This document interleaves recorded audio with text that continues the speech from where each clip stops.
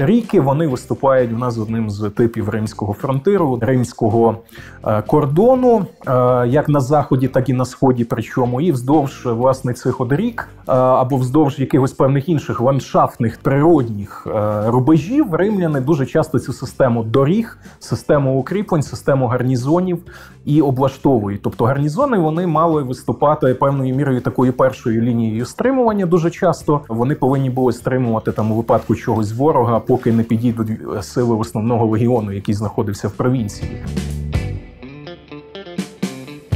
Пане Вікторе, доброго дня. Доброго дня. Дякую, що ви з нами. Сьогодні будемо говорити про тему, яка напевно, що в більшості наших співгромадян викличе певні запитання: Рим і Україна, так, але Рим це про історію, Україна це про історію, так. І якщо ми говоримо про минуле, то наскільки Рим і українські терени це щось ну, чужорідне, непоєднюване і чи поєднюване? Ну, питання дійсно може здатися на перший погляд таким досить екзотичним, мовляв, де де Італія, де Апенінський півострів, де Рим, а де ми.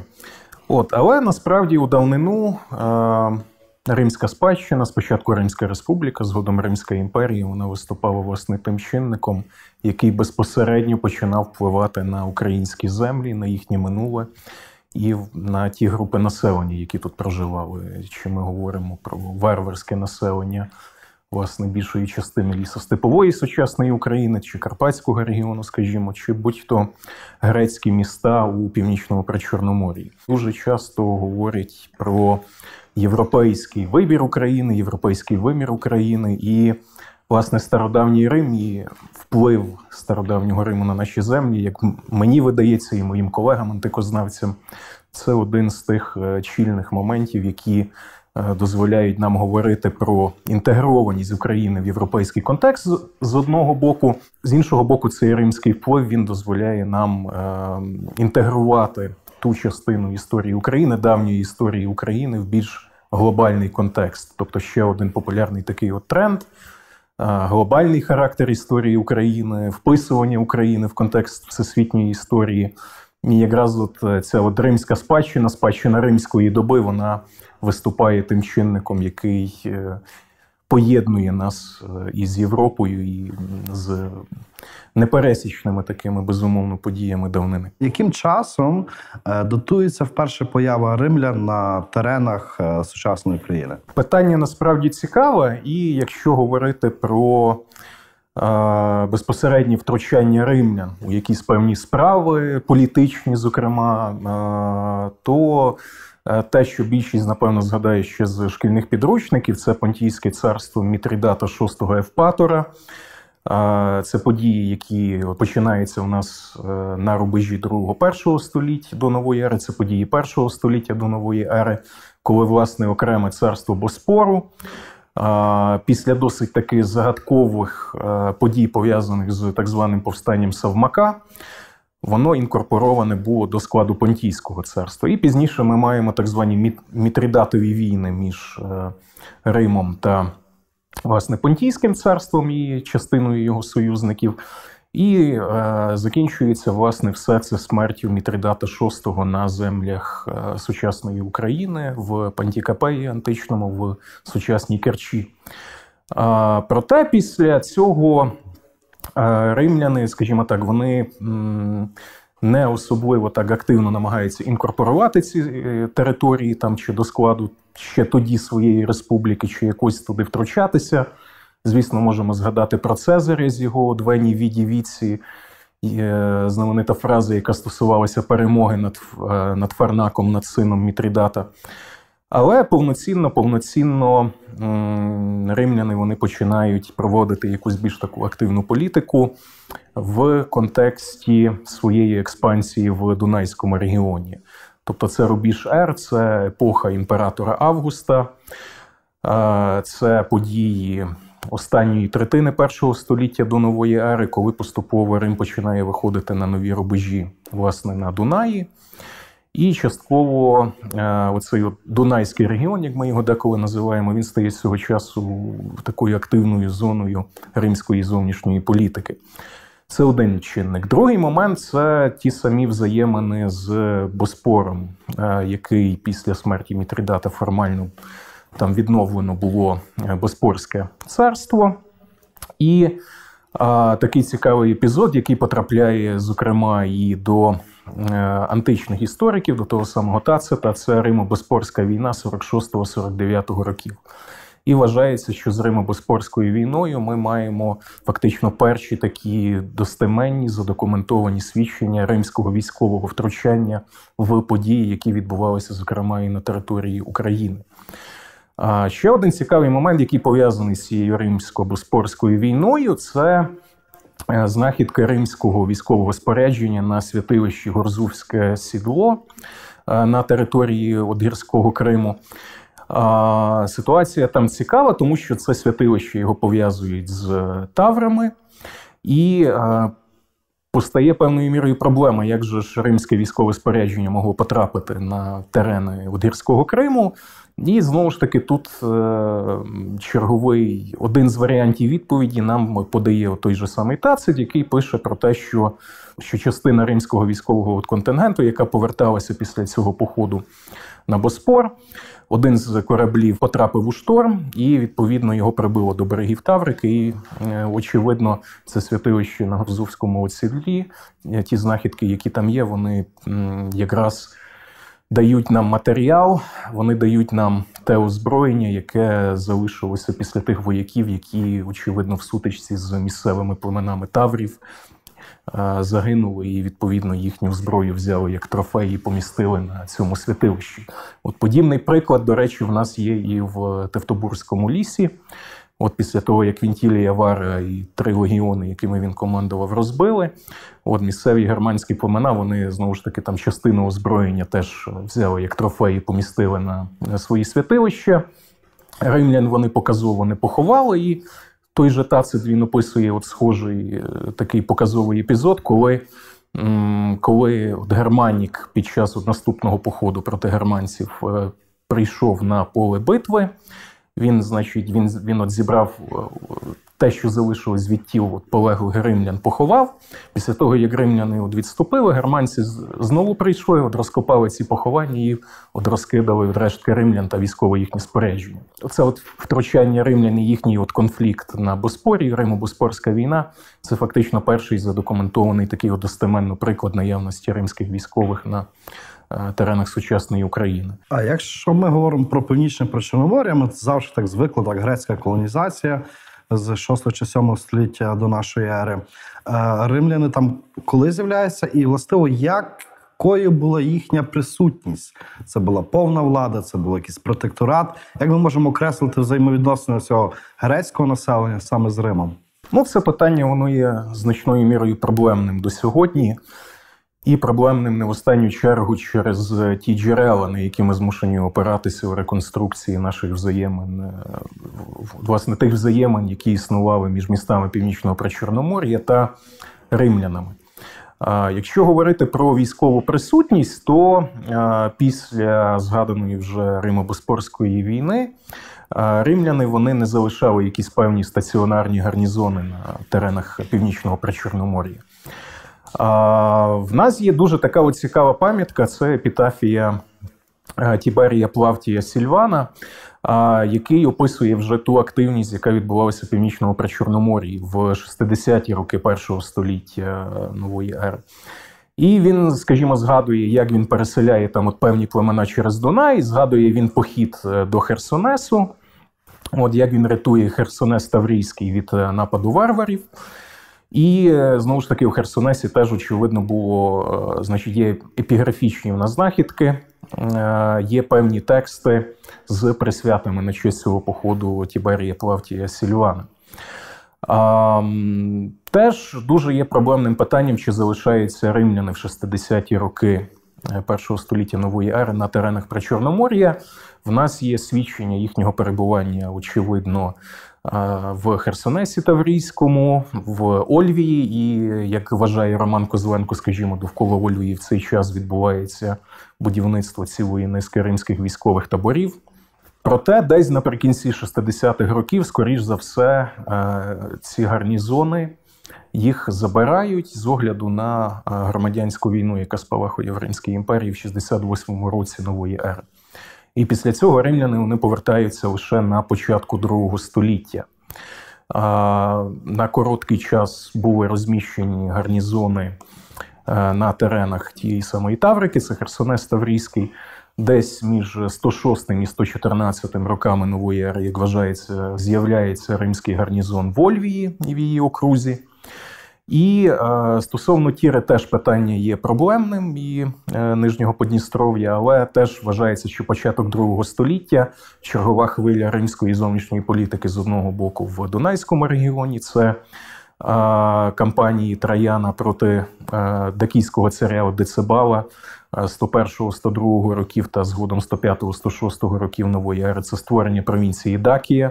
Умовно, римські гарнізони в цей час вони стають е, постійними такими гостями, як вважається, північного причорномор'ї. Але знову ж таки, е, характер політичних стосунків Римської імперії з цими містами, характер е, військових якихось певних взаємовідносин, він ну, залишається дуже таким одумовним. Дуже часто ми можемо от зустріти згадки про те, що Тіра, Ольвія і, можливо, навіть Херсонез вони входять до складу провінції Нижня Мезія. От, Але говорити про те, що вони стають частиною імперії на офіційному рівні, ну.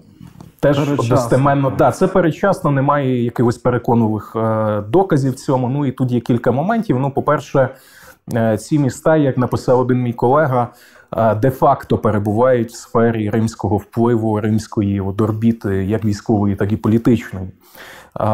Це міста, які у випадку Херсонеса вже в 20-30 роки другого століття отримують права от Елефтерії. У випадку Тіри та Ольвії тут, очевидно, йде мова про права від автономії. І е, говорити про їхню пряму інтегрованість до складу провінції. Як ми вже от зазначили, говорити про це важко, але все-таки в певних питаннях їхнього цивільного життя, їхнього військового життя вони залежні від римлян. Тобто, де-факто римляни вони ці території контролюють в сфері політичній та військовій. Більше того, у випадку Тіри вже починаючи з середини першого століття нової ери, ми маємо впровадження нової ери, от початок от карбування нового типу монети, які якраз і слугують таким от індикатором про те, що місто потрапляє в конкретно, значить, під конкретний вплив е, власне римської адміністрації, як цивільної, так і військової. А що вабило римлян в цих теренах? Так ну зрозуміло, що простору і можливостей для експансії у Риму було вдосталь. Так чому саме північне Причорномор'я? Ну, стосовно північного Причорномор'я, тут ситуація е, певною мірою є складною, тому що якщо ми говоримо про е, початки римської присутності, зокрема і військової, у випадку Римо-Боспорської війни тут ну очевидно необхідним було от безпосереднє втручання до тих е, справ, які в цей час відбувалися на Боспорі. Кампанії ж 60-х років першого століття і кампанії початку другого століття нової ери тут справа складніша.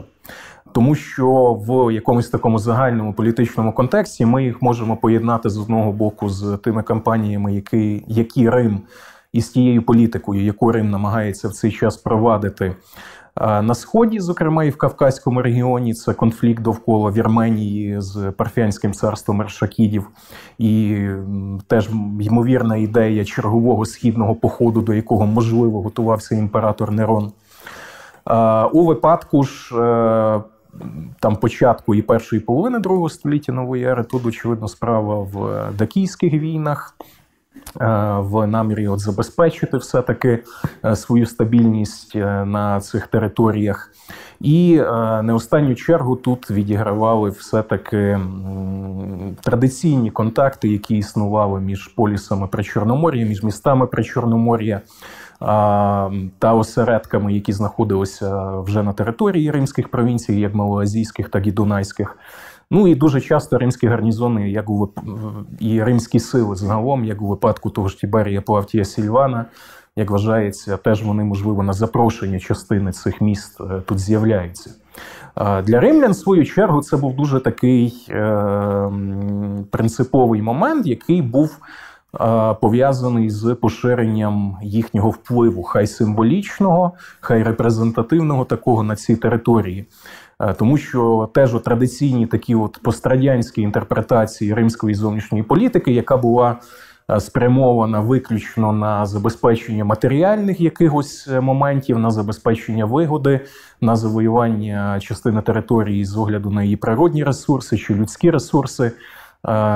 Ці погляди ну вони значною мірою не відображають всю ту варіативність тих дій, які часто проводили римляни. Тобто, дуже часто ці гарнізони, якщо ми подивимося на їхню чисельність, як на теренах при Чорномор'ї, так і на теренах інших частин, навіть які безпосередньо входили до складу імперії. Чисельність тих вояків, які там стояли, ну вона радше була такою от символічною. Говорити, що вони принципово змінювали там військову чи іншу ситуацію в регіоні, ми часто не можемо. Але якщо взяти за аналогію от розмірах от гарнізонів, які, скажімо, в другій половині другого століття стояли на середньому Єфраті, ми подекуди бачимо, що їхня що, що їхня чисельність на окремих пунктах могла там сягати за ледве кількох десятків одвояків. Тобто їм йшлося не стільки про якісь конкретні військові завдання, дуже часто, скільки про репрезентацію римського впливу, чи про контроль над е, шляхами сполучень, контроль над е, іншими певними от комунікаціями. І в цьому контексті, якраз от при Чорномор'ї, воно дуже гарно лягає на ту систему от взаємин, яка існувала між римлянами, і дуже часто тим, що знаходилося по ту сторону їхнього кордону. Ну і це окрема тема. Чим власне був римський лімес, чи якоюсь конкретною військовою лінією, як ми її звикли уявляти, чи складною зоною і системою контактів. Так, і фронтиром. Але ми про це ще поговоримо. От ем, знову ж таки, я дуже часто звертаюся до шкільних підручників. Е, в нас там згадується присутність Риму, так, е, в колишніх грецьких містах, колоніях. Водночас у нас є сармати, так, як володарі степів українських.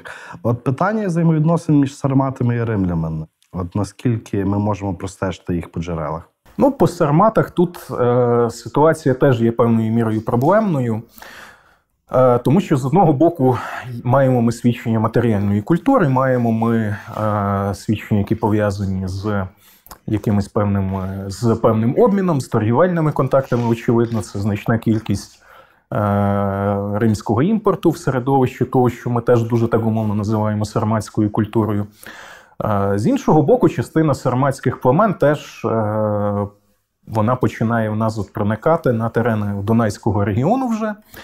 Частину з них, власне, якось намагаються регулювати самі римляни та переселяти самі римляни. Ну і частина цих племен, зокрема язиги, вони теж з'являються в нас на теренах Панонської рівнини.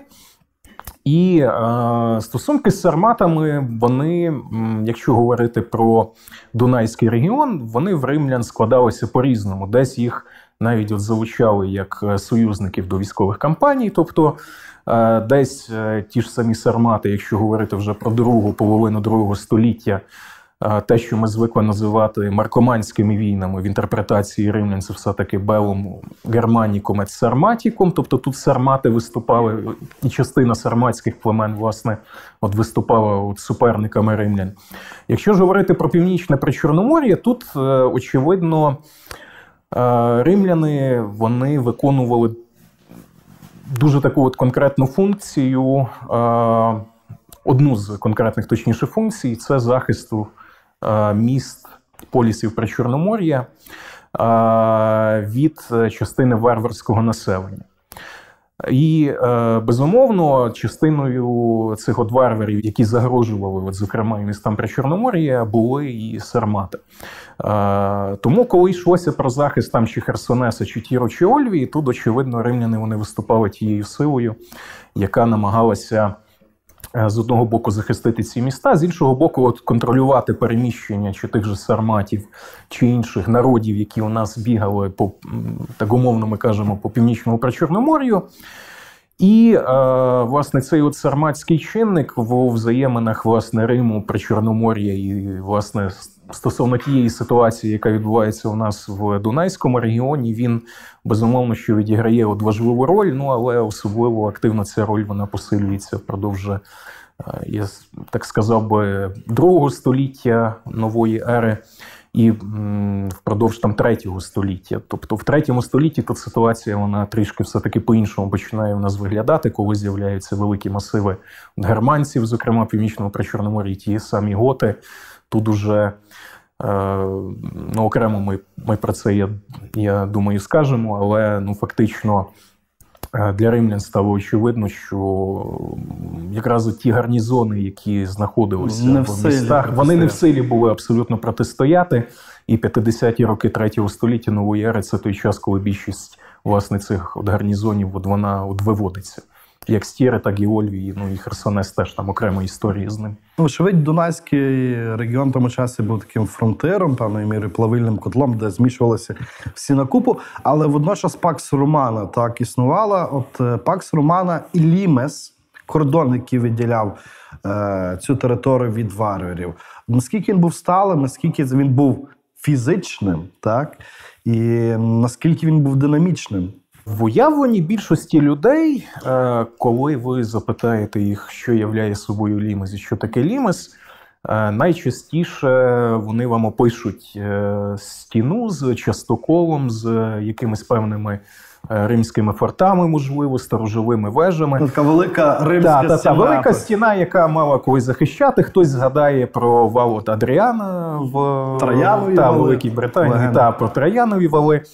Ну насправді з Лімесом тут е, така от справа, що ми говоримо по суті, як е, кажуть фахові дослідники, про певний конструкт, про певну ідею лімесу в самій римській термінології, в самих римських джерелах. Е, здебільшого цей термін він позначає або військові дороги, або як вважав Бен Ісаак, він міг позначати в принципі окремі вже військові округи в пізньоантичний період. От і довкола Лімесу тут йде велика така от дискусія серед дослідників з кінця 70-х років ХХ е, століття. Ну і ця дискусія вона пов'язана з тим, е, наскільки це традиційне уявлення про Лімес як систему власне конкретних укріплень е, відповідає власне самим джерелам, як археологічним, так і писемним та епіграфічним, от зокрема. І е, як все це співвідноситься з зовнішньою політикою Риму в цілому? Лімес тут, е, скажімо так, невдячна його така от доля певною мірою, тому що цей термін часто використовують і в контексті, і поза контекстом, не не, не дуже розуміючи, що ним власне позначають. От, Але е, умовно його використовують для позначення певного такого от кордону, певної межі власне римської держави.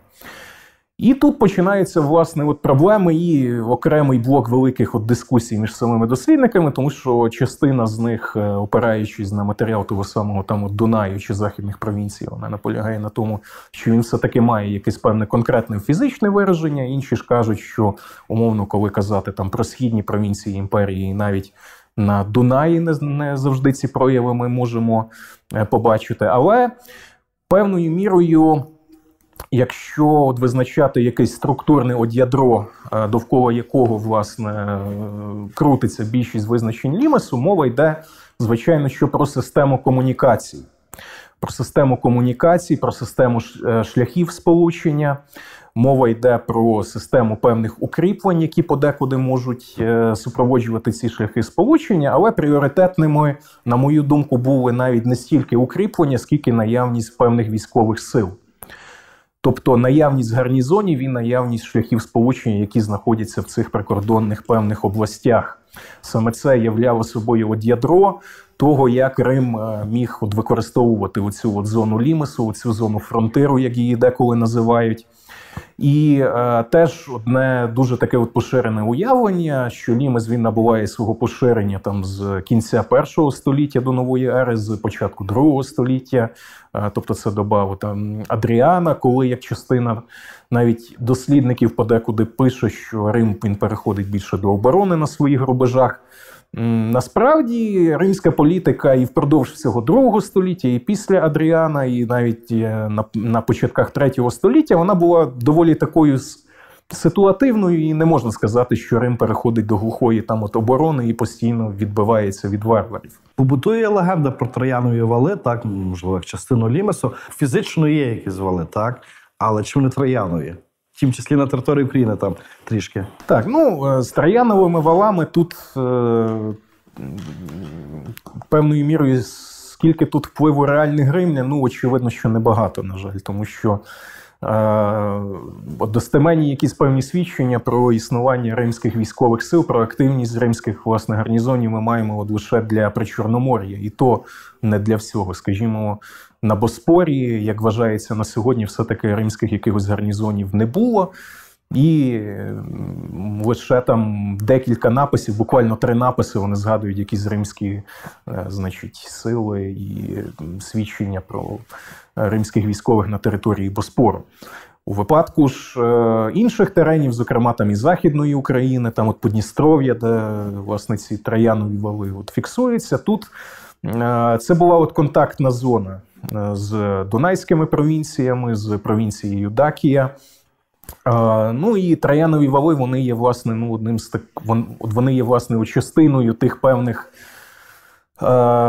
Дуже часто довкола історичних міфів, уявлень е, про те, що римляни, скажімо, доходять до Кам'янця-Подільського і будують цей знаменитий міст, який там знаходиться чи про те, що назва такого населеного пункту на Хмельниччині як Сатанів, є там калькою з е, латинської мови. Ну але е, по суті, по суті, археологія нам показує, що ці троянові вали вони ну не мають е, жодним чином стосунку ні до імператора Трояна, ні до римської армії, чи римської військової активності. Тут також цікаво, як от на цих східних периферіях Пакс Романа відбувалася етнічна ситуація, і як е, Рим співвідносився осім варварським населенням. Наскільки ми можемо говорити питання асиміляції, взаємовпливів і тому подібне? Питання вони є цікаві, тому що е, якщо ми подивимось на те, хто у нас з'являється і в північному причорномор'ї, і хто, скажімо так, от залучений навіть до служби в гарнізонах Римської Дакії, е, там є ціла низка військових е, легіонів римських, які знаходяться там на регулярній основі. Е, від доби Августа, значить, частина легіонів вона була розподілена по провінціях, причому найчастіше по провінціях, які якраз і були на цьому фронтирі, які були порубіжними. Е, провінціями, які е, які деколи ми називаємо слідом за античними авторами імператорськими, тобто от безпосередньо вони знаходились в підпорядкуванні імператора і керував ними там от легат.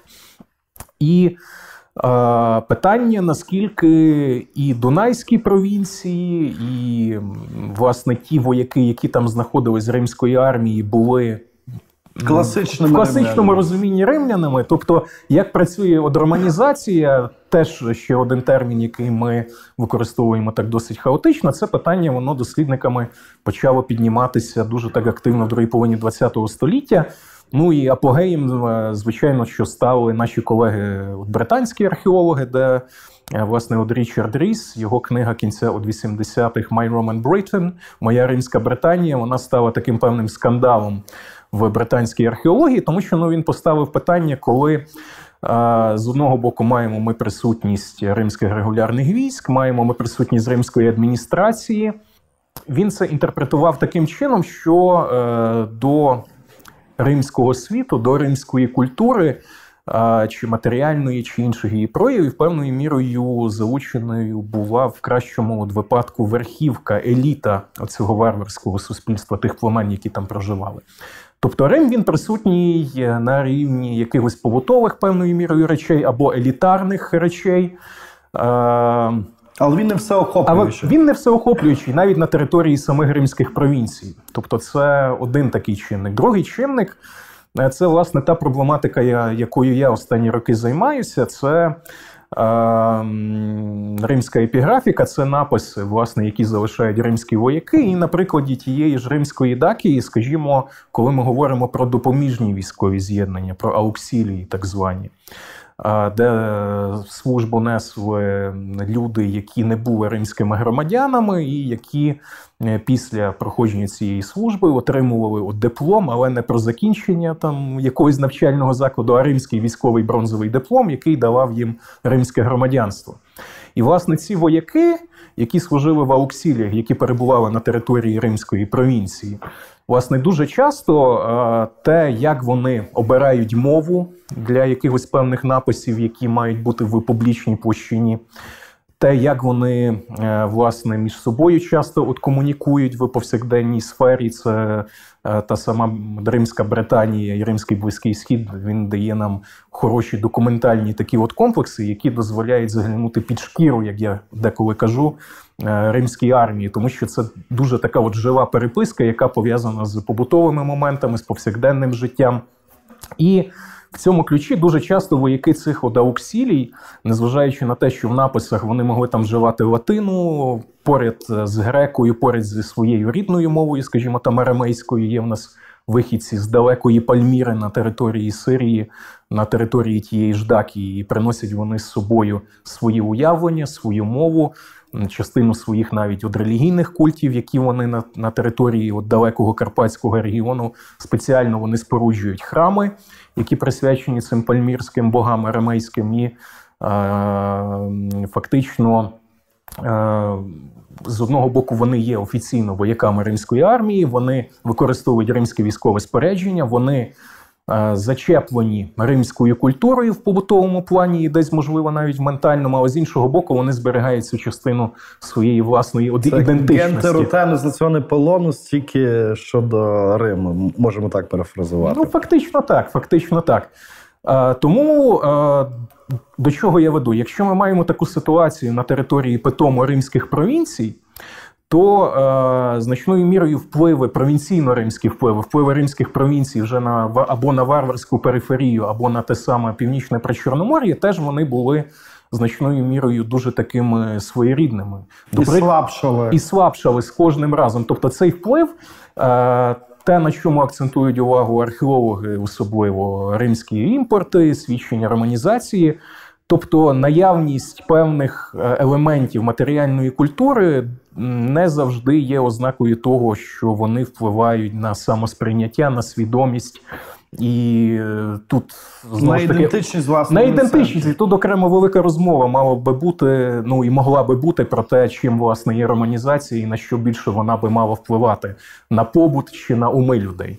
Тобто, в такому Ну, з точки зору Риму як держави, очевидно, що на голови ну, людей. Ну, на голови, очевидно, так їм це було більш вигідно. Тому а тут е, тут ми підійшли до дуже такої цікавої теми. Так, ми маємо Мезію, Дакію. Так, ми маємо території на півдні України, які стали римськими провінціями, і ми маємо властиво територію України, принаймні її південь, так і якщо ми говоримо про Західну Україну, то я розумію, що питання воно трішки футуристичне, можливо, некоректне, але гіпотетично, чи Рим міг розглядати цю територію, нашу територію, як певний простір для вже романізації державної, політичної, яка б закінчила створенням якоїсь провінції, з якоюсь там назвою. Ну, стосовно північного причорномор'я, як ми вже говорили, якось достеменно довести, що, скажімо, Чутіра чи Ольвія входили до складу Нижньої Мезії. Е, на сьогодні складно, ну але де-факто ці терени вони контролювалися. Е, з іншого боку, наскільки Рим це розглядав як свої от питому території, де він має певні інтереси, які він де він бажає вводити повноцінний римський спосіб життя, це питання досить таки от складне. Очевидно, що тут певною мірою Потрібно повернутися до наших от е, загальних уявлень про Римську імперію, яку ми уявляємо як такий от монолітний певний організм. Ну і те, що я говорив от до цього, насправді навіть в самих потім римських провінціях, те наскільки вони були романізованими, тут питання часто є досить складним. А, Якщо говорити ну, про напрямок якоїсь певної римської зовнішньої політики і те, чи якісь території теоретично могли стати частиною власне римської держави, а, найчастіше в контексті маркоманських воїн згадують, опираючись на дуже таку е, специфічну фразу з теж з пізнього джерела, з авторів життєписів августів. В біографії Марка Аврелія, якого ці от автори от життєписів називають Антоніном філософів, е, йде от згадка, що під час цих от маркоманських воєн от Марк він мав на меті створити дві нові провінції Маркоманію та Сарматію. І на цьому, власне, е, свідчення, якісь документальні вони закінчуються. Але дослідникам це не заважає будувати цілі теорії про те, де мали проходити межі цієї маркоманії та І Сарматії. Сарматії. Е, Фігурує в цьому контексті територія Словаччини. Частина дослідників навіть включає туди території українського Закарпаття, можливо, там українських Карпат. Е, Хтось навіть е, дуже сміливо переходить Карпати і моделює ці моделі на території сучасної України більш масштабні. От, але для Марка Аврелія під час власне цих воєн і згодом для Комода завдання вони стояли ну, власне дещо іншими. Для них основним було от зупинити оцей от вал е, фактично нападів германців та сарматів і інших племен, які долучилися до цих е, кампаній. Е, Тому наскільки на цьому етапі, наскільки там для 60-х, 70-х чи 80-х років другого століття стояло питання про якусь експансію, і дійсно приєднання цих територій, говорити або складно. своє, або своє Ну, говорити складно. З іншого боку, враховуючи римське, римський такий підхід в зовнішній політиці до вирішення подібних питань, е, я думаю, що теоретично могли вони от розглядати це питання для того, щоб приєднати ці території і створити там таку от буферну безпечну зону, е, яку як. Яка би забезпечила і Дунайські провінції, і Дакію від е, цієї от загрози, яка йшла з півночі.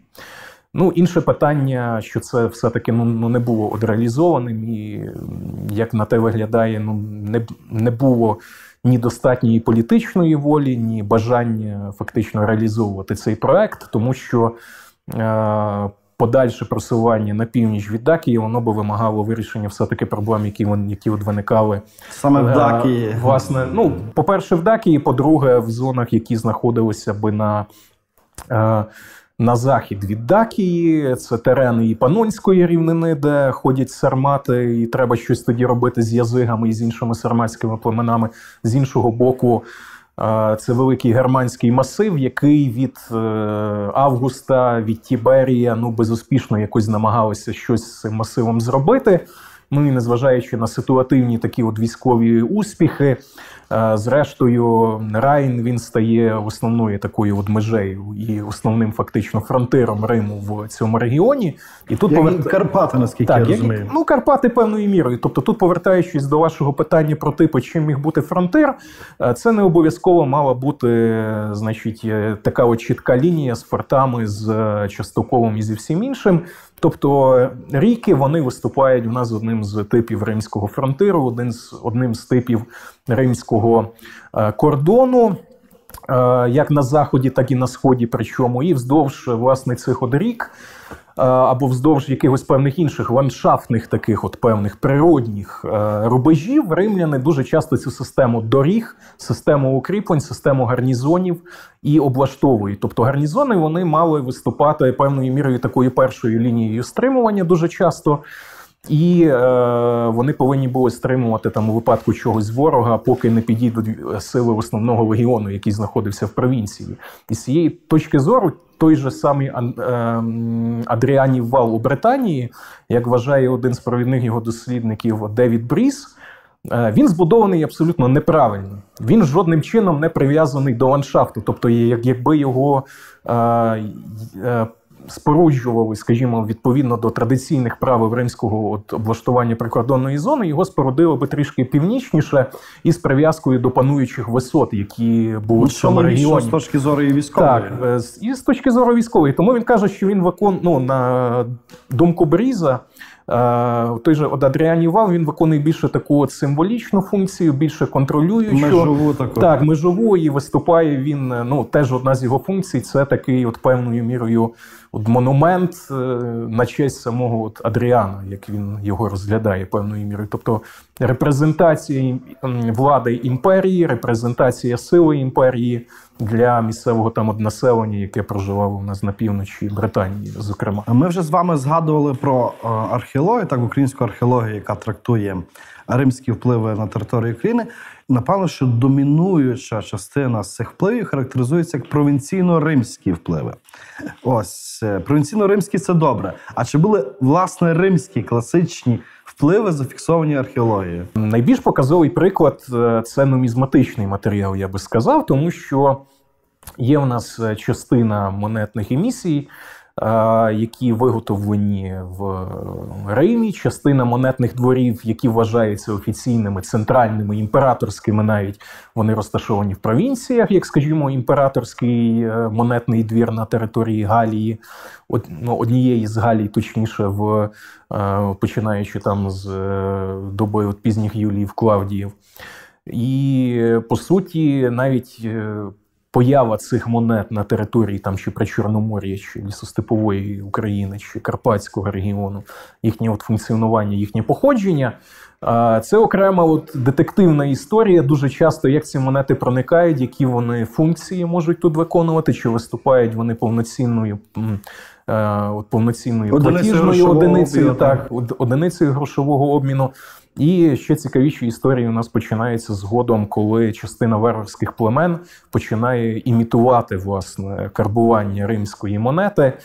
От е, тому от певною мірою навіть от поява оцих наслідувань, імітацій подекуди навіть прямого фальшування римської монети, е, яка ну є найбільш таким от яскравим ключовим, я би сказав, от проявом, е, який міг походити з центру власне питому римської цивілізації. Сама назва монета це. Е, теж термін ну, пов'язаний топографічно навіть з самим Римом, з історією окремою. От, Але е, от фактично, от приклади цієї побутової культури, матеріальної культури, там чи монет, чи якісь певні прояви у випадку того ж північного причорномор'я, як взаємодіє римська провінційна адміністрація, римські військові і місто.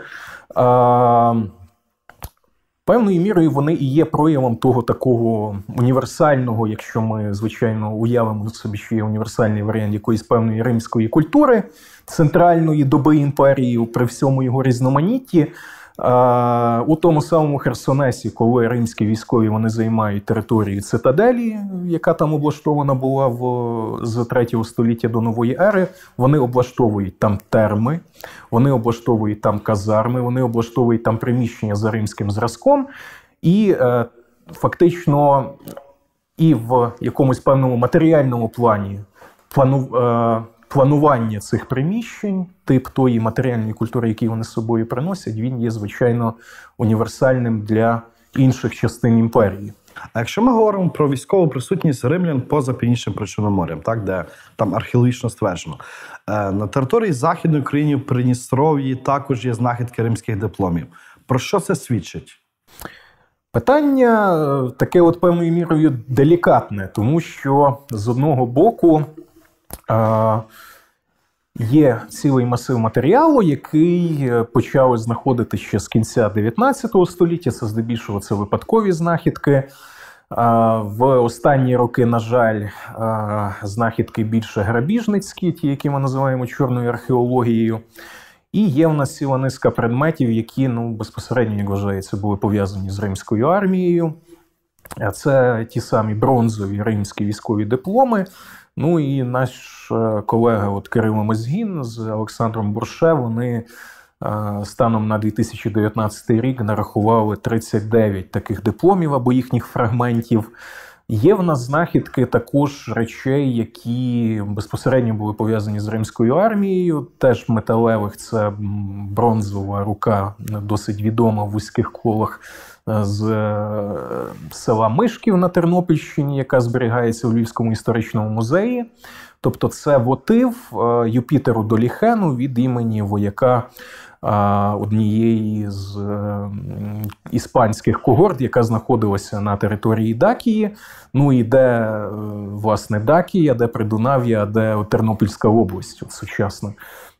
Тому в, скажімо так, були і до сьогодні є певні спроби якось інтерпретувати всі ці знахідки, пояснити їх. І на початку 90-х років теж була досить така от амбітна, але обґрунтована гіпотеза, за якою частина римських з'єднань, частина векселяції могла е, знаходитися далеко на північ від Дакії, могла перейти якось через Карпатські перевали. І якраз в контексті подій, які у нас е, відбуваються після маркоманських воїн, в контексті подій там першої половини е, третього століття на території е, того самого Карпатського регіону, за згадками, які є і в писемних джерелах, частина римських сил вона там вона проходила на північ і займалася там такими певними контролюючими функціями, от збирала там е, от певну значить, от данину, податок, ну і тому подібні речі там відбувалися. І всі ці речі е, і знахідки пов'язані з культовими моментами, та сама рука з Мишкова, з, і зараз всі військові дипломи певною мірою їх використовують в контексті цієї дискусії, я би сказав, як свідчення того, що частина римських з'єднань могла все-таки проходити на північ від Дакії. На мою думку, ми маємо підходити ну більш обережно все-таки до цього питання. І е, незважаючи на те, що частина цих гіпотез, як я вже казав, дійсно є досить обґрунтованими з серйозним археологічним, епіграфічним е, обґрунтуванням, з посиланням на дані античних авторів. Проблема в тому, що більшість цих знахідок цілком е, спокійно на сьогодні знаходить альтернативні пояснення. Тобто, у випадку тих же римських військових дипломів е, хронологічно, здебільшого, це знахідки від доби Флавіїв, тобто від кінця першого століття і до середини третього століття. З, з частиною монетного матеріалу схожа є от ситуація у нас. Тобто, всеред, середина третього століття вона, вона дає нам бум Е, буквально і появу великої кількості монет середини третього століття. А з чим це пов'язано? Пов'язано це з е, загальною політичною ситуацією, яка відбувається у нас в Донецькому регіоні. Пов'язано це з війнами власне римлян з частиною тих племен, які починають просуватися на Дунай. І 251 рік це битва на Абрітусі, це е, поразка римлян, коли імператор Траян Децій загинув під час битви. І частина імператорського скарбу, імператорської скарбниці, і частина власне речей з обозу римських вояків вона потрапляє в якості трофеїв до Ем, власне варварських племен, і згодом все це оце, оце якраз той приклад, коли історична подія дуже гарно теоретично може в нас от корелювати з масовою появою римського матеріалу на пам'ятках сучасної України. Тобто ті речі, які тут знайдені, це не римляни принесли, це принесли варвари. Ну найімовірніше так. Найімовірніше так. Тобто я прихильник все-таки того, що е, говорити про м, таку от сталу присутність частини навіть е, тих римських з'єднань, які могли там проходити на північ від Дакії, регулярно ми зафіксувати на сьогодні їх не можемо. І, власне, ті речі, які з ними пов'язують, е, більшість з них цілком спокійно може бути інтерпретована власне як військові, якісь певні трофеї, е, які приносять з собою власне варвари. Тому, ну, на мою думку, все-таки ми маємо бути дуже обережними в цьому питанні. І як би привабливо нам не виглядали перспективи римських от гарнізонів чи римських військових на теренах чи Подністров'я, чи Західної України. Ми не можемо на сьогодні це підтвердити однозначно. Так, якщо ми говоримо про доготський час, так до просування готів, очевидно, що Дунайський регіон був привабливим для заходу туди різних варіарів. І тут питання: чи хтось от Подністров'я, Західної України, я розумію, що це дуже умовні назви, але все ж Е, заходив е, в Дунайський регіон, так що каже римська наративна традиція. І врешті якраз і простір на північ від Даки бачила, хто тут жив. Бо ми зараз говоримо липська культура, пшеворська культура, там початки черняхівської культури, але але. Заходили, однозначно заходили, але в процесі, скажімо так, е, здебільшого військових кампаній, ті самі маркоманські війни, ну і знахідки там археології буквально там останніх років, та сама Карівська група. Е, от, Можливо, там частина племен, які пов'язані у нас, які пов'язані з тією ж пшеворською культурою в своїй основі. Е, вони брали участь в цих кампаніях і е, заходили вони туди під час них, і власне частина тих от речей, як трофеї, вони і потрапляли в середовище цих культур, але не війною єдиною, тому що. Е, цілком очевидно, що частина от населення е, цих от культур також ну, підтримувала певні економічні, торгівельні, цілком мирні такі от взаємини з римським світом, з світом римських провінцій. Але е, якщо дивитись знову знову ж таки про дані на дані наративної римської традиції, тут питання воно є досить таки от складним, як римляни описують взагалі світ, який знаходиться на північ або за межами їхнього фронтиру, їхнього кордону. Ну і найпоказовіший такий приклад, як на мене, це Германія Тацита. Якщо її от уважно читати, в принципі, всім от фахівцям з археології римського часу, всім антикознавцям. Е, всім археологам, які там займаються там і слов'янською проблемою, зокрема, їм знайомі ті труднощі, які виникають, коли тацит згадує якесь певне плем'я, де воно проживає, чи воно пов'язане там чи з кельтами, чи з германцями, чи ні одні, не другі, як в нього там частина племен так фігурує. І е, якось конкретно їх прив'язати до певного регіону буває от, досить складно. Тут е, наступне питання, наскільки розумію, сфера археології, так але чи ми можемо окреслити якось північну межу провінційно-римських впливів на територію України? Тобто, зрозуміло, що Придністров'я більш динамічно, більше артефактів, але на північ, північ чи, чи, чи це можливо? З північною межею, як на мене, тут є от серйозна певна така от проблема, тому що. Е, по суті, якщо взяти чисто знахідки якихось римських матеріалів, вони в нас доходити будуть аж до Скандинавії чи до півночі, там Євразії в широкому такому от розумінні. От, е, До території там деяких ну, от, північних областей от, сучасної Росії навіть є там, де навряд чи е, де навряд чи ступала нога римлянина.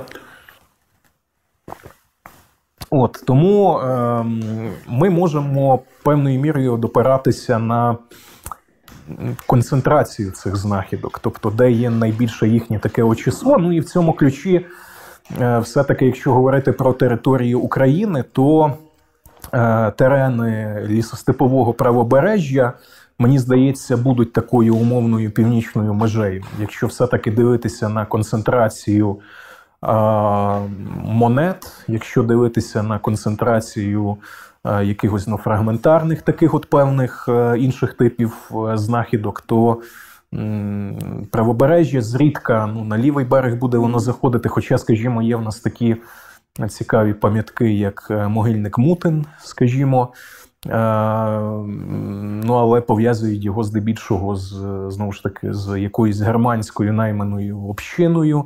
Але якщо подивитися на знахідки в цьому могильнику, по суті, оці от германці чи не германці до кінця не зрозуміло, ким вони були. Вони використовують римське озброєння. Тобто там яким є... часом готується цей могильник? Здається, перше століття. Я можу зараз помилятися дуже сильно, але мені здається, це перше століття. От, а і там є знахідки типово римських шоломів типу Монтефортіно. От. Тому це той приклад, коли вже через варварів, можливо, через тих же германців, яких кличуть місцеві племена, е, елементи римської культури, того ж римського озброєння, обладунку, захисного озброєння, вони проникають на терени е, власне культури. Віктора, а ми можемо окреслити час? Я зараз скажу така річ, яка визвала в моїй голові я не є фахівець, безумовно, з Риму. Коли е, романізація поступово завершується, і на її зміну проходить варваризація вже римського світу. Так що ми говоримо про Дунайський регіон. Ну, це події, які я би відносив все-таки до третього століття і все, що відбувається у нас після третього століття. Е, це поява готів, це поява цілої низки інших племен, які у нас тут з'являються. Це події так званих готських воїн, 230-270 роки е, нової ери вже. Ну і апогеєм, звичайно, що стає евакуація провінції Дакія. Це безпос... Е, це безпрецедентний такий от приклад в історії Римської держави, коли в епоху Авреліана в 70-ті роки третього століття нової ери римляни змушені по суті цілу провінцію евакуювати. Звичайно, що пішли не всі частина населення вона залишилася. І е, поступово теж е, на прикладі, якщо ми візьмемо археологічний вимір того, що відбувається з Дакією після 270-х років, ми поступово якраз от бачимо, як ці от хвилі е, варварського населення, як нові племена з'являються на цих теренах, як поступово зникають ці от прояви римської культури, чи то провінційного, чи центрального, навіть такого от зразка. От, е, ну і події, події такі от ключові, звичайно, відбуваються у нас в IV столітті. Це поява гунів, це це початок переміщення готів, коли вони ну, переходять через Дунай, це битва при Адріанополі, 378 рік. І це якраз от події пов'язані з великим переселенням народів, тобто для західних провінцій Риму, для Дунайських провінцій Риму вони, звичайно, що стають таким от ключовим певним е, моментом. Е, тобто, четверте століття, велике переселення, потреба от залишати провінції. Е, коли вони от полишають навіть ту саму Британію, і тобто це ті процеси, які пов'язані ну безпосередньо вже Е, з великими етнічними переміщеннями, які починаються в нас е, в третьому столітті, передумови яких є ну там частково друге століття, ті самі маркоманські війни. Ми говоримо так. про ключовий період історії Риму тут. І на Дунаї, так, це третє століття. На Дунаї, зокрема. Третє століття. При цьому для е, північного причорномор'я, якщо ми до нього повернемося, то середина третього століття, друга половина третього століття, вона стає таким дуже яскравим індикатором того, як римляни себе тут поводять, тому що ну, для тієї ж самої Тіри, для тієї самої Ольвії е, римські гарнізони ну, десь е, з середини третього століття їхнього перебування тут вже немає. З Херсонесом там ну і його округою тут ситуація теж є дуже такою проблематичною, тому що е, десь у 230-ті роки, як вважається, гарнізон його забирають, але в 200 50-ті його повертають, і до останньої чверті третього століття він все-таки там перебуває. От, І лише потім його там от, е, знову ж таки остаточно вже от забирають, і в епоху пізньої античності, потім там е, з входженням міста безпосередньо до складу Візантійської імперії або Східної Римської імперії. Е, тут відновлюються вже початки римської військової присутності, з'являються окремий е, новий гарнізон вже ранньовізантійського Херсонеса або Херсона. І показовий в цьому приклад е, Нижнього Дунаю, е, де фактично маємо ми на території сучасної України Приклади дуже цікавих пам'яток це римський кастелум або форт, який знаходився на Дунаї в селі е, Картал або Орлівка. І е, це дуже цікава пам'ятка, дуже цікавий е, такий от приклад, коли пам'ятці не пощастило з її дослідженнями, тому що її активно розкопували в радянський час, але по суті до сьогодні не введено в науковий обіг ці матеріали. Інший приклад це, власне, якщо рухатися по цьому регіону, це ситуація, яка в нас склалася між Тірою і між цією зоною Нижнього Дунаю. Тобто традиційно вважається, що є в нас цей римський кастелум на Дунаї, ця Орлівка. Нижче починається вже Мезія згодом з епохи Одоміціана, Нижня Мезія. Ну і північніше є Тіра, де теж стоїть значить, римський гарнізон.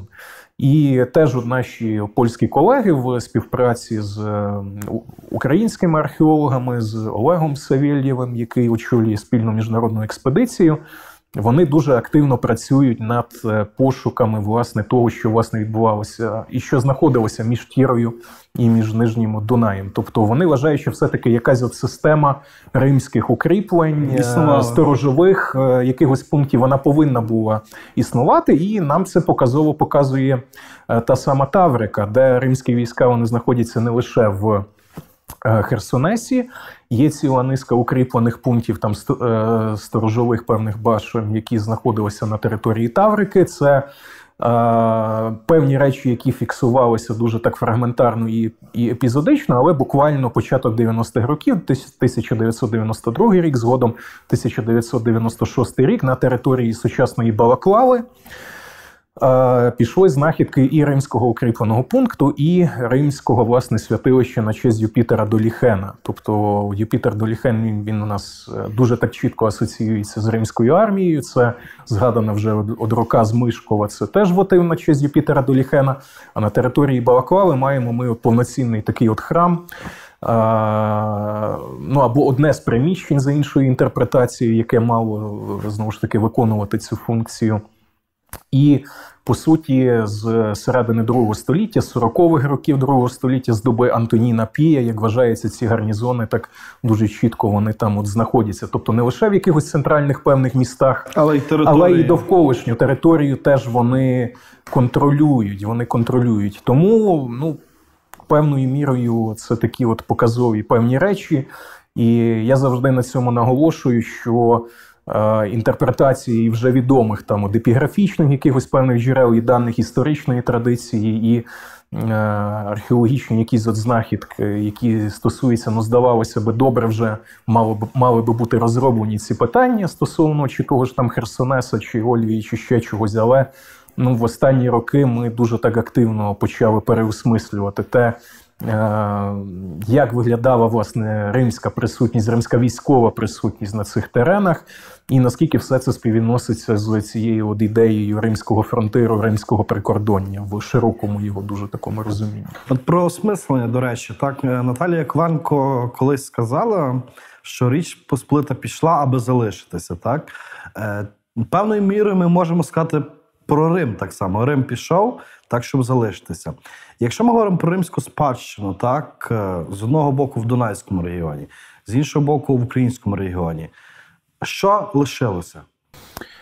Залишилося безумовно е- певні пам'ятки, причому дуже часто пам'ятки унікальні, які в світовому контексті намагаються зараз вводити Е, по-перше, в їхнє от використання як туристичних певних атракцій, наголошуючи якраз на цьому моменті, що це речі, які пов'язані з римським лімесом, з римським фронтиром, з римською військовою певною е, присутністю, і знову ж таки. В контексті збереження цієї спадщини, в контексті використання практичного цієї спадщини, Наведу лише два приклади. Перший це згадане вже включення до списку спадщини ЮНЕСКО, над яким дуже активно працюють зараз європейські країни, зокрема і на стосовно пам'яток, які знаходяться на Дунаї. Тобто, це насправді це в рамках якихось певних міжнародних ініціатив, які існують, це ну. Зокрема, і проблема сучасної от України, що ми не, не намагаємося якось інтегрувати ту ж частину нижньодунайського власне фронтиру Римської імперії свою історію. і з одного боку в свою історію, е, з іншого боку, в контекст тих якихось певних заходів чи дискусій, які ведуться от європейськими нашими колегами.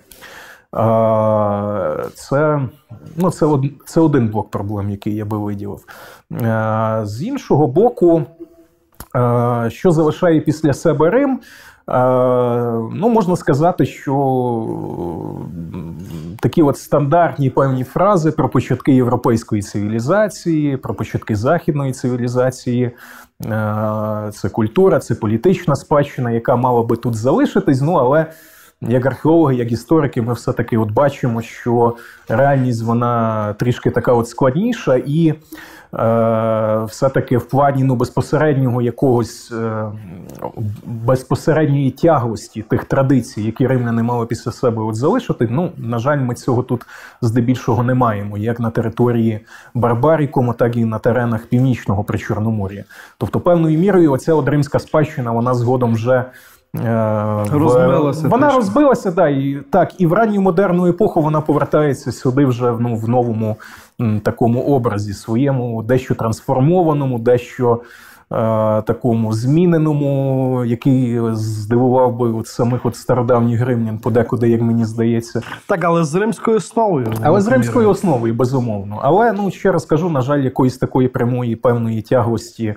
Ми не маємо. Тому мені здається, все-таки от українським дослідникам, археологам іншим групам, історикам, е, епіграфістам, з якими в нас, от, на жаль, зараз проблеми. От е, Їм варто було би ну, більш активно долучатися в ці от сучасні європейські дискусії про цю от римську спадщину, про римський лімес, долучатися до роботи наукових ініціатив, які існують з 1949 року. Проводяться міжнародні конгреси, які Е, спрямовані на вивчення римського лімесу. В нас, на жаль, зберігаються моменти, коли частина, коли, грубо кажучи, навіть українським археологам відводиться роль такого пасивного от копача. А з радянського ще періоду все, що стосувалося там епіграфіки, нумізматики, інших моментів, це повинні були інтерпретувати дослідники з Москви, з Ленінграда. І певною мірою це дуже так яскраво Ганна Русяєва описує в своїх спогадах е, про Андрія Білецького, філолога київського, про те, що він готовий був, наприклад, е, долучитися до роботи з епіграфічним матеріалом, який походив з Причорномор'я, на що Білецькому сказали що з написами будуть працювати москвичі, а ви, як хочете, можете перекласти там от Геродота, і так і з'явився власне переклад е, Геродота, е, який якимось дивом все-таки на початку 90-х вдалося опублікувати. Стосовно ну, продовження цієї теми, інтерпретації матеріалу, наприклад, теж про Чорномор'я чи частково навіть Карпатський регіон, вони повністю залежать від е, досить фрагментарних складних написів, які треба часто розуміти, як їх вписати в певний контекст і інтерпретувати їх в певному контексті. На жаль, знову ж таки, ми багато говоримо про е, певні втрати, про певні роботи, які е, там вели російські археологи на території Криму, але чомусь ми забуваємо тих же самих російських епіграфістів чи осіб, які були пов'язані з епіграфічними певними проектами. Е, які проводили росіяни як стосовно античної, так і середньовічної доби. Е, які, ну, якщо не торкати з їхнього фахового рівня, насправді ну, етична сторона того, наскільки доцільно було продовжувати цю роботу після 2014 року, до прикладу, в мене особисто це от викликає певні такі от серйозні запитання, які мені здається, треба ставити. Пане Вікторе, щиро вам дякую за дякую. цікаву і ґрунтовну розмову. Вікторе, який історичний міф, на твою думку, найбільше шкодить сучасній Україні? Ну, Мені здається, це все-таки група міфів, яку я би виділив, які стосуються давньої історії України, про те, що українці з прадавніх давен проживають у нас на території України, про те, що там українці прямі нащадки трипільців, які там збудували міфічну арату, і ми прокляті академічні археологи і історики крадемо в Україну і справжню історію. Тобто, ну це мені здається є наслідком таких певних комплексів е, десь 80-х, десь 90-х років, десь, можливо, це свідомо інспіровано. Але мені здається, що ці от міфи, вони шкідливі в тому плані, вони не дозволяють нас от серйозно сприймати десь на рівні чи європейської науки, чи суспільної опінії. І наша історія, особливо давня історія, вона достатньо багата і без міфічних цивілізацій епохи там е, е, мідного віку чи бронзового віку. Тобто нам є чим пишатися. У нас цілком нормальна, цілком адекватна історія, яку треба просто фахово досліджувати, не заважати фаховим дослідникам і дати їм просто робити свою роботу. А ключова подія, яка змінила хід української історії, на твою думку? Ну мені здається, все-таки це події початку ХХ століття. Це Перша світова війна, це події української революції, коли якраз коли ми говоримо про модерну історію України, про модерну українську націю. Вони виступають таким ключовим вододілом, коли українці е, починають дуже чітко артикулювати якісь свої певні наміри до самостійності, наміри до своєї власної суб'єктності. І наміри все-таки відіграти якесь місце в європейській історії в світовій історії. Тобто, мені здається, ці події вони є ну, певною мірою такими переломними для кривавого і складного ХХ століття в майбутньому.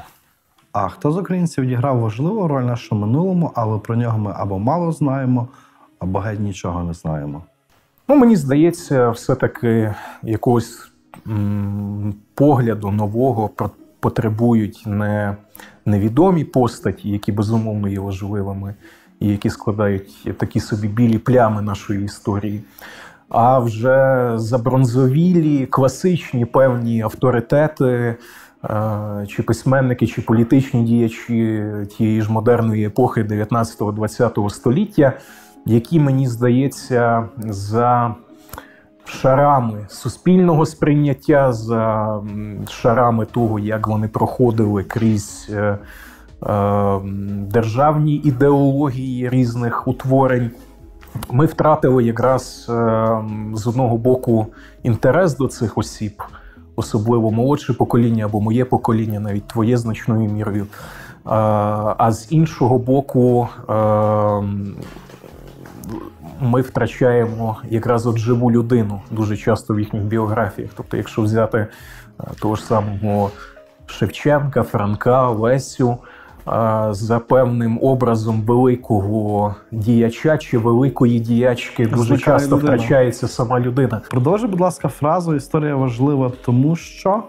Тому що вона повинна формувати критичне мислення в людини, тобто дуже часто її розглядають як таку собі вчительку життя, не пояснюючи в чому, а чого саме вона повинна вчити, чи повинна вона карати за невивчені уроки, як писав інший класик. От мені здається, вона все-таки повинна формувати в людини певний спосіб сприйняття дійсності, не лише минулого, але й, можливо, і сучасності, критично сприймати довколишню дійсність, критично сприймати минуле, критично, зрештою, сприймати політиків, і історія, як жодна інша. Дисципліна не здатна показати наскільки по суті наше життя є мінливим у всіх його проявах, і Е, наскільки все-таки варто бути деколи обережним і критичним до того, що ти бачиш, що ти читаєш, що, і не що тобі на емоції. Так, так, і не піддаватись на емоції. За Володимиром Вониченком українська історія неможлива без брому. Так? От наскільки стереотип нації жертви визначає нас зараз? Мені здається, це той стереотип, який ще довгий час буде живий з огляду на події сучасності тому що складне ХХ століття, складні події, які ми всі переживаємо після 2014 року. Війна з Росією, російська експансія. Яка трива, яка почалася ну насправді набагато раніше ніж 24 е, лютого 2022 року, і з іншого боку, історія це завжди досвід пам'яті, досвід дуже свіжий. І в цьому контексті якраз от 20 століття воно наклало відбиток чи не на кожну українську родину в цьому ключі. Е, чи це голодомор, чи це репресії, чи це події пов'язані з національно-визвольним рухом. Тобто, це певною мірою той досвід, який е, немає, як виглядає кінця, і вже здавалося би, мало б вирости покоління, яке не мало би мати певних травм психологічних, як, як наші чи дідусі, чи батьки. Але чергова війна, чергові події. Е, тому мені здається, що тут е, багато роботи і для фахівців з, з психології для фахівців, які займаються якимись колективними певними травмами. От і в контексті якраз от актуальних подій, мені здається, е, всі ті травми ХХ століття вони будуть сприйматися і будуть актуалізованими якраз в контексті суспільного певного дискурсу, суспільної розмови, якраз через те, що якраз через той досвід, який ми всі проживаємо зараз.